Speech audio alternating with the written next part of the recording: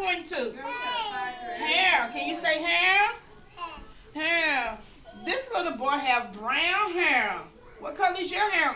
What color your hair, Nina? Brown. Sebastian, what color your hair? Guys, keep your hands in your lap. Blonde. Good job, Henry.